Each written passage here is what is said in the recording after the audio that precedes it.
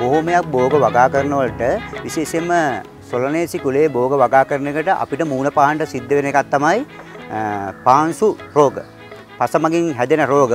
මේක වළක්වා ගැනීමට සහ විශේෂයෙන්ම ජෛක ආයතනයේ තාක්ෂණයේ උඩ අපි දැන් අලුත් ක්‍රමයක් හඳුන්වලා තියලා තියෙනවා. ගොවි පොළවලටත් ගොවියොන්ටත් ඉහළ තාක්ෂණයක් භාවිතා කරන්න හැමෝටවත් එළවලු පැල බද්ධ කිරීම නැත්නම් එළවලු පැල ග්‍රාෆ්ටින් මේකට අපි ඇත්තටම පාවිච්චි කරන්නේ ග්‍රාහක පැලේ සහ අනුජය වශයෙන් වර්ග දෙකක් පාවිච්චි කරනවා. අපි හැම වෙලෙම ග්‍රාහක පැලේ තෝරගන්නේ පාංශු රෝගවල සඳහා ඔරොත්තු දෙන ප්‍රභේදයක්.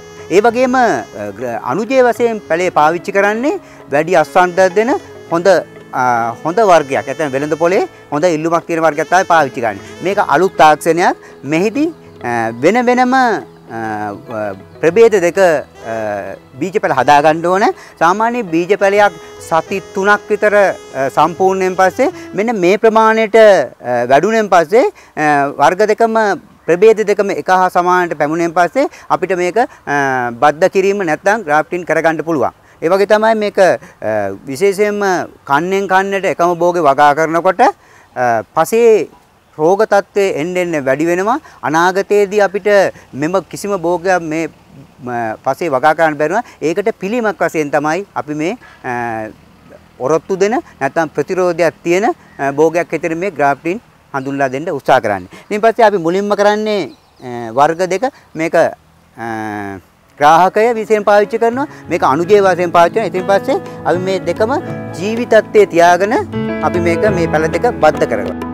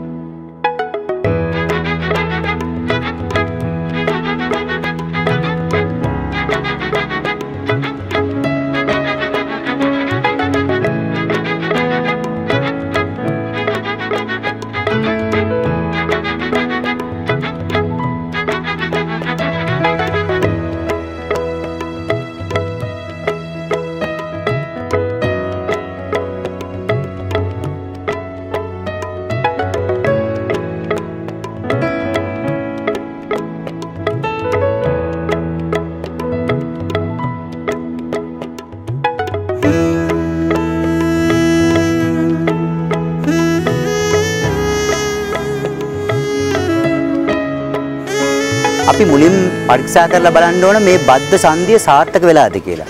එතනින් පස්සේ අපිට මේ බද්ධ සංදියේ අනුජය සහ ග්‍රාහකය වෙන් කරගන්න පුළුවන්.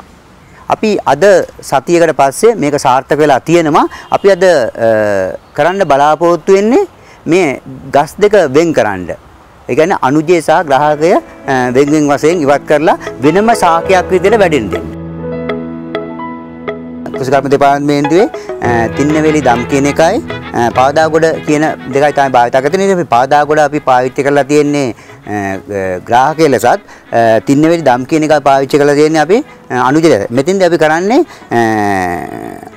ග්‍රාහකයේ මුල කොටස තියලා අනුජයේ මුල කොටස ඉවත් කරගන්නවා.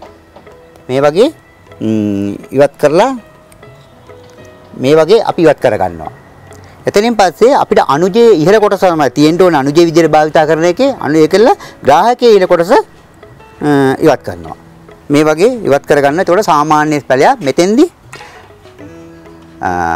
පාංශු රෝග සඳහා වෘතු දෙන ග්‍රාහකයෙකුත් පාංශු රෝග සඳහා ඔරොත්තු දෙන අපිට අවශ්‍ය කරන තින්නවැලි දම් කියන අනුජය තමයි මෙතන ඉතුරුලා තියෙන්නේ. එතකොට මේක පාංශු රෝග සඳහා ඔරොත්තු දීමේ ශක්තියක් ඇති වෙනවා.